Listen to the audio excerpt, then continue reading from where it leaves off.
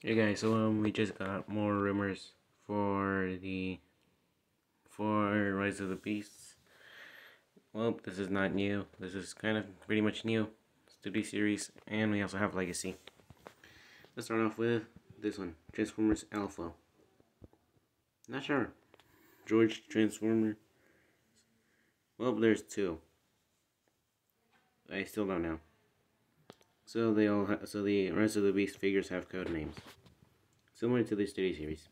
We have Spike for the Transformers. Okay.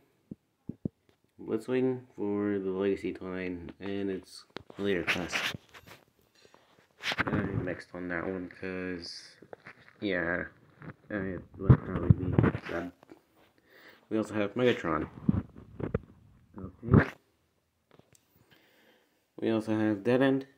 Mm, okay then. That's pretty good. That sounds pretty interesting. And we have even more. Even more Rise of the Beast figures. So I'm just going to quickly name them. Transformers Alpha, George, Journey, Orion, Cyclops, Pluto, Oscar.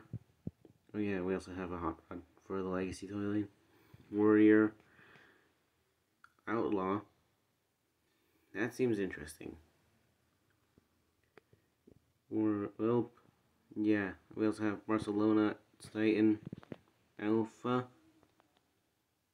What? And I'm not really sure about that one. So yeah, this toilet, this rumor is kind of interesting. Really interesting. So, um, yeah, that's basically it for today's video, and I'll see you guys next time.